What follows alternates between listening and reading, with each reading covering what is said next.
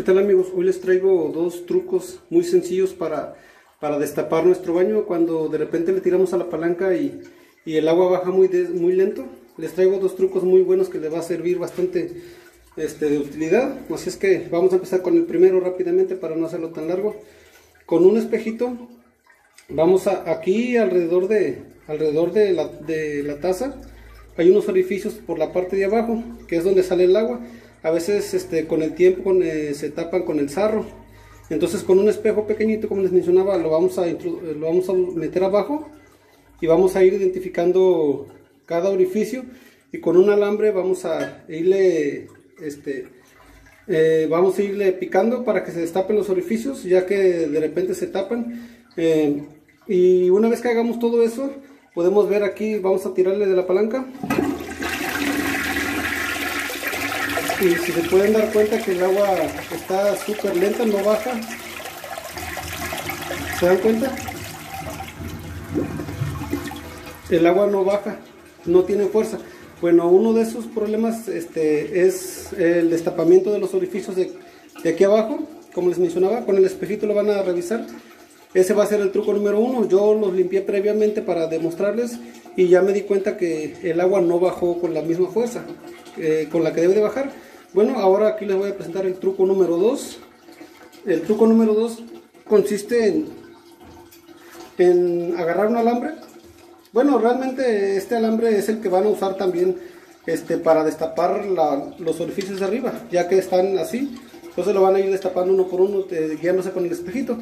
El truco número 2, con el mismo alambre, amigos, aquí en la parte de abajo, aquí en la parte de abajo, este, así apuntando para este lado hay otro orificio que también debe de estar destapado.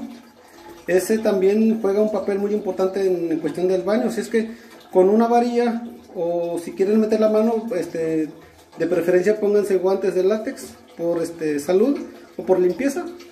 Eh, de, no ser así con un alambre en forma de L lo meten y ahí en el orificio donde yo les digo aquí debe de haber un orificio. Aquí debe de haber un orificio que también se tapa con el tiempo. Entonces ustedes le dan, le, tallan, le tallan en esa parte. Si se dan cuenta empieza a salir suciedad allí debido al tiempo, al uso. Entonces este se tapa ese orificio y ese orificio es el que juega un papel muy importante en cuestión de, de nuestro sanitario.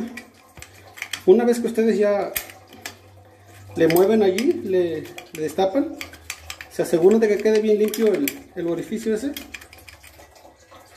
Este, hacemos, bueno, esperamos a que se llene la, taza porque este, llena muy lento. Pero aprovechamos para limpiarle súper bien. Se dan cuenta que el agua se está poniendo poco sucia porque probablemente ese orificio estaba tapado. Entonces una vez que ya quede destapado, una vez que ya quede destapado amigos, este, ya que nos aseguramos de que quedó limpio sacamos la varilla y ahora sí le vamos a tirar nuevamente a la palanca.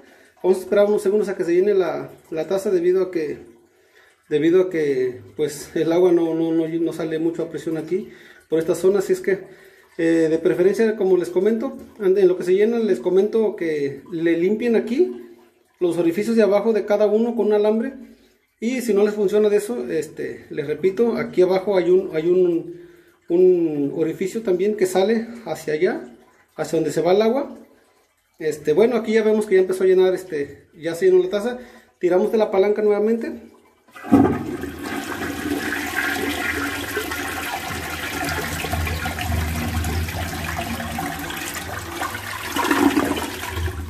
Y se dan cuenta que el agua ya se fue normal con la misma fuerza con la que debe de bajar amigos.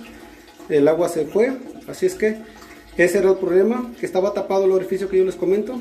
Así es que con el alambre que les digo este no olviden destaparlo espero que les sirva el tutorial amigos que les sea de gran ayuda que me regalen un like si gustan suscribirse también ahí los espero y nos vemos en un próximo video